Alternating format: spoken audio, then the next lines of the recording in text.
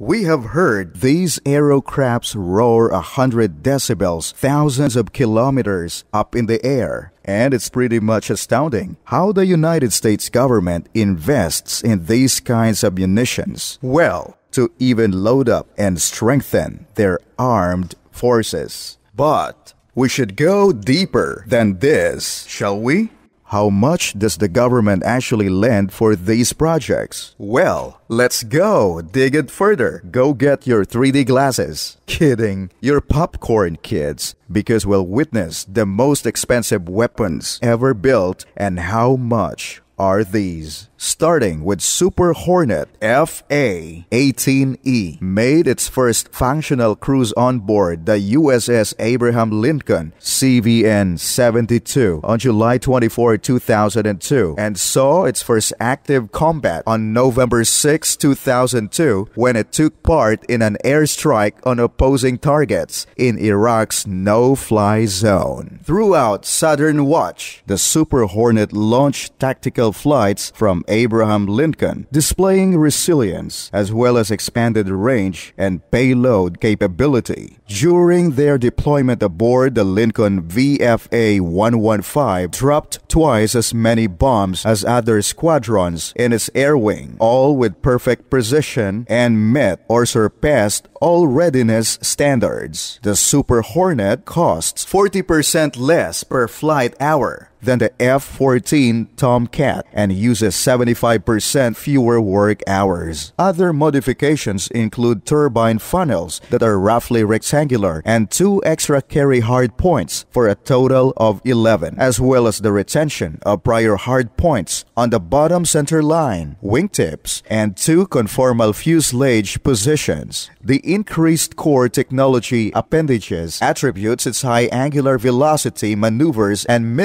the stationary stability margin to improve pitching characteristics are one of the most significant aerodynamic alterations. Pitch speeds in addition to 40 degrees per second are the outcome and is a significant barrier to departure from controlled flight. The FA 18EF Super Hornet is a fighter and a strike aircraft that accomplishes specialized missions through the employment of external equipment and enhanced networking capabilities. It only serves right how the government maxed out $98 million to build this aircraft with all its high end modifications and added appendages. Next and fourth on the list, the F 35 Lightning II. The F 35 Lightning II is a heavily armored transonic multi role aircraft intended to address the objectives of U.S. and ally armed services throughout the world for a cost effective next generation weapon. It will supplant a variety of older fighter and strike aircraft in the United States inventory, the Air Force, Navy, Marine Corps, and other partner defense forces are all involved. The F 35 plays a significant part in today's foreign relations environment, with over 600 aircraft operating from 26 sites and ships across the world. More than 1,200 pilots and 10,000 maintenance personnel have been trained, and the F 35 squadron has logged over 350,000 flight hours. Northrop Grumman is honored to be a part of the multinational team working on the F 35's three variants. Defense Minister Jeremy Quin announced in March 2020 that the value of one F 35B was 115 million US dollars, approximately 88.8 million pounds, using UK government March 2020 exchange rates, which included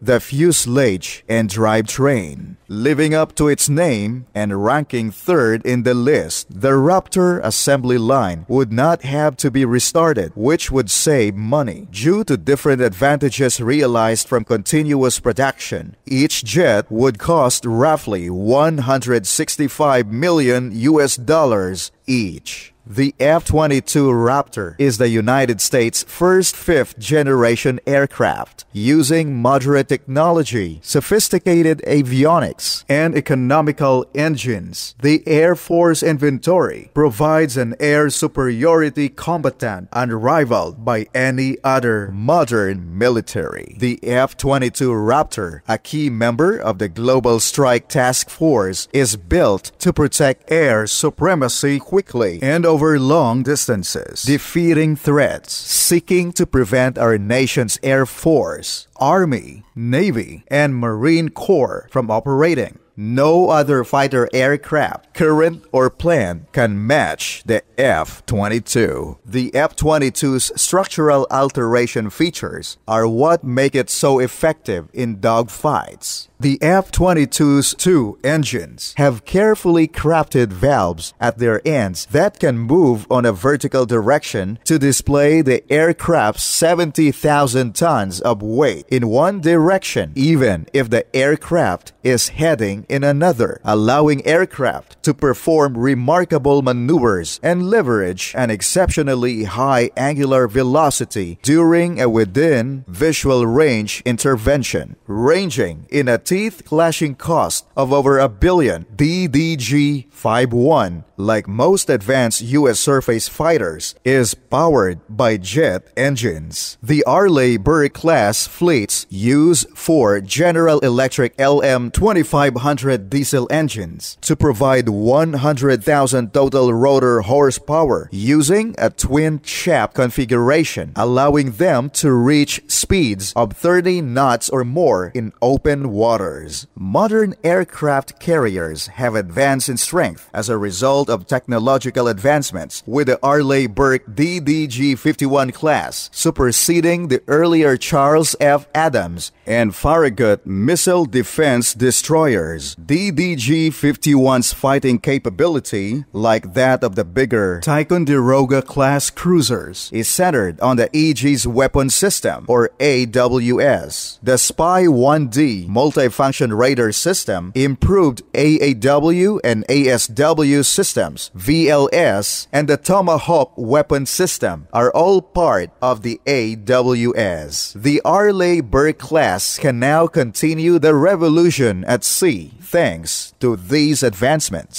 Diving into the underwater and the most expensive military weapon, the Virginia class submarine. The Virginia class submarine, the U.S. Navy's newest submarine prototype, boasts cutting edge subterfuge, covert operations, and weapons system technology. Obtaining a Virginia class submarine is anticipated to cost 3.45 billion U.S. dollars or 4.73 billion Australian dollars per vessel, per the records produced for the U.S. Congress. After the Cold Cold War, the Virginia class isn't the first new design to start operating. The Seawolf class was supposed to supersede the Los Angeles class, but after only three submarines were built, work was halted. Due to the funding constraints at the end of the Cold War, this prohibition was imposed, and the last vessel was built in 1995. The Seawolf class was the costly SSN submarine, costing 3 billion US dollars per ship. Because the Virginia class is smaller and has low production costs than the Seawolf, it was placed into full production right away. Through aircrafts and underwater vessels, we have seen how much the government had tried to exhaust all of their resources to be able to build a weapon that can be susceptible to their needs. Millions and billions of dollars are spent, and we have yet to witness more.